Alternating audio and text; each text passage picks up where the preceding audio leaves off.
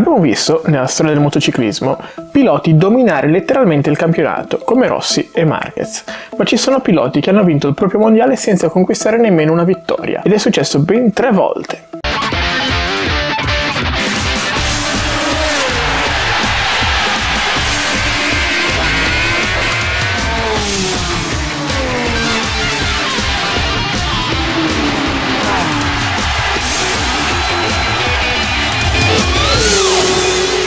Buongiorno e bentornati su Paddock, il canale che parla di moto e non solo.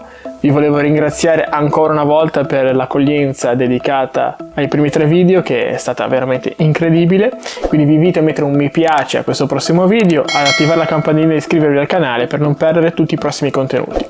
Volevo anche invitarvi tra l'altro ad indicare qua sotto nei commenti cosa vorreste vedere nel canale, storie, idee di qualsiasi cosa che avete in mente, su moto, piloti, gare, tutto quello che vi viene in mente indicatelo qua sotto nei commenti. Quindi andiamo subito con il primo pilota.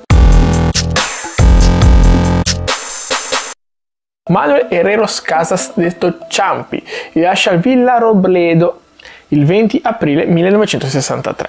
Lo spagnolo esordisce nel motomondiale nel 1984 su una MBA 125, con 6 punti conquistati al GP di Spagna a Jarama. Nello stesso anno fa la sua apparizione nella classe 80 con una derby sempre al GP di Spagna, ritirandosi in gara.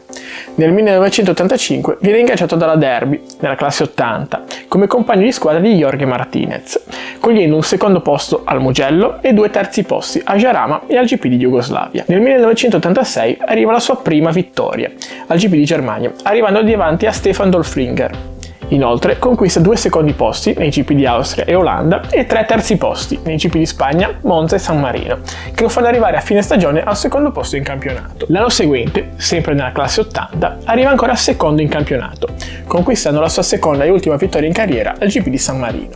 Arriva inoltre tre volte secondo nei GP di Monza, Assen e Jarama. Nel 1988 arrivano due terzi posti, a Imola e al Nürburgring, ed un secondo posto a Jerez, arrivando quarto in campionato. C'è da segnalare anche la sua partecipazione nella classe 125, conquistando un secondo posto, sempre ad Imola, con la quindicesima posizione finale in campionato e 30 punti conquistati. Ma nel 1989 arriva la magia.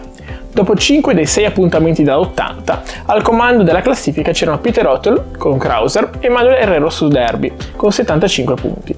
Il tedesco aveva vinto 3 volte, mentre lo spagnolo aveva ottenuto 3 secondi posti. In lizza c'era pure Stefan Dolflinger su Krauser con 69 punti un degno epilogo per la classe 80, che proprio con la gara di Brno il 27 agosto andò definitivamente in archivio. Inizia la Krauser sbagliata, quella di Harry Torontegui, con quasi 19 secondi su Herreros, soltanto quinto in griglia, che fu scartato sul podio dall'altra derby di Jorge Martinez. Pur scattando dalla pole, Dolflinger finì quinto, mentre Oettel cadde. Senza conquistare un solo GP, Herreros vinse il titolo con 12 punti sullo svizzero e 17 sul tedesco.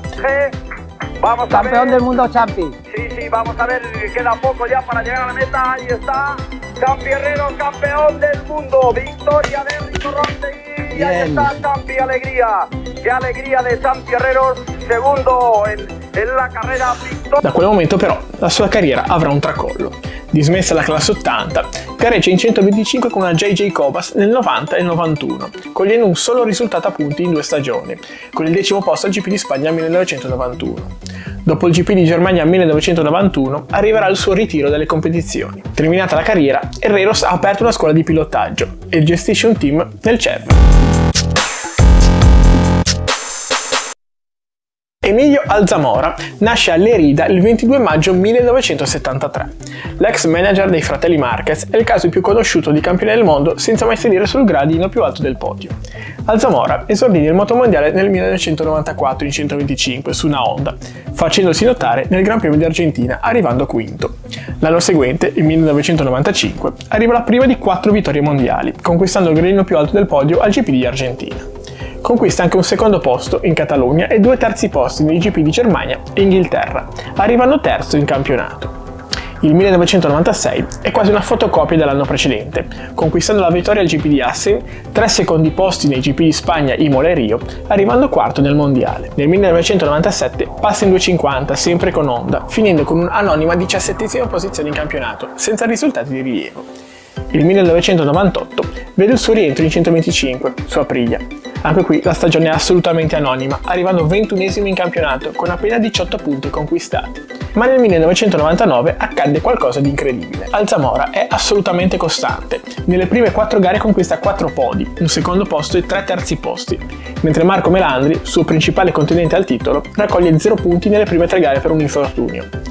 Arriviamo all'ultima gara stagionale, con Melandi che ha fatto un recupero incredibile con 4 vittorie, ma rimane la costanza di Azamora, che raccoglie ulteriori 3 secondi posti e 2 terzi posti.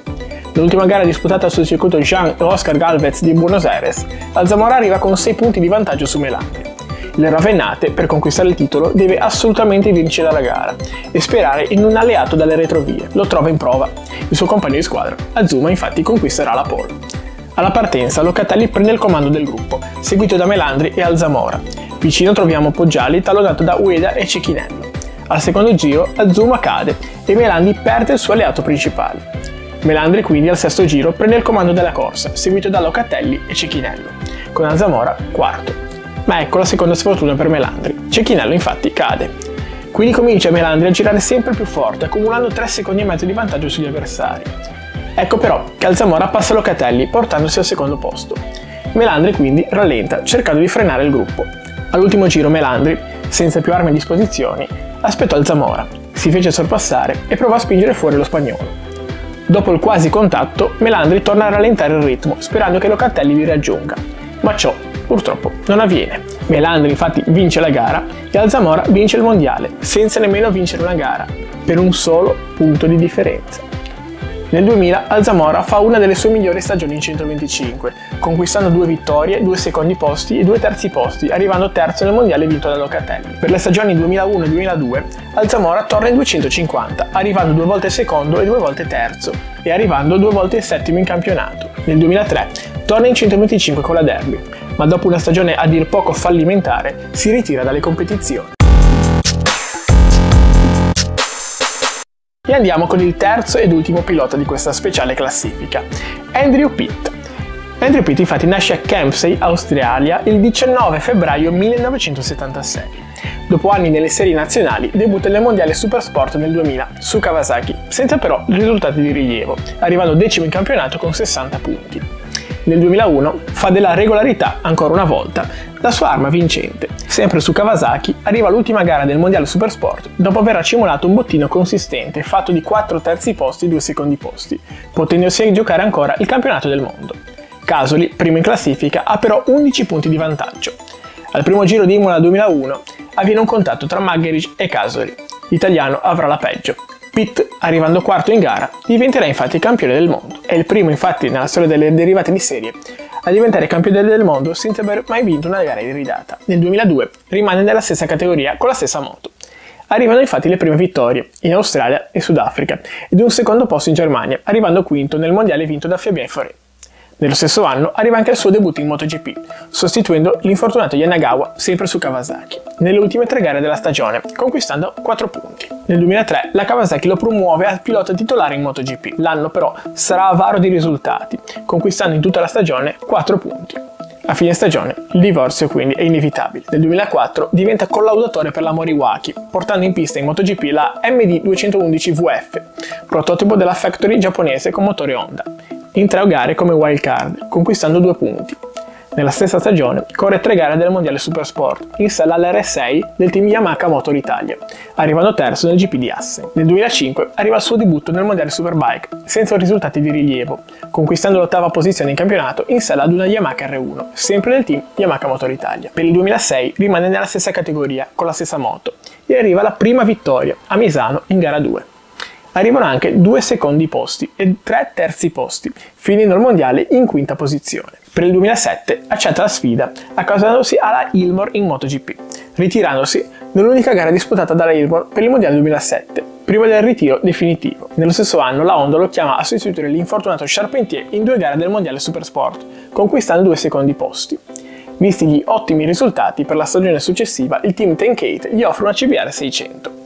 Pitt dominerà assolutamente la stagione, vincendo 5 gare nei GP di Australia, Olanda, Germania, San Marino e Francia, conquistando tra l'altro 3 secondi posti nei GP di Brno, Donington e Portimao ed un terzo posto nel GP di Brenzeccio, ai danni di Jonathan Ria, che arriverà secondo in campionato.